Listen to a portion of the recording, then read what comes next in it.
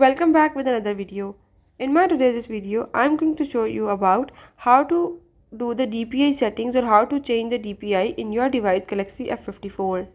So if in this device, if you want to change the DPI settings or you want to learn about it, I will tell you how you can do it. Watch the video till end, follow all the steps and you will learn it.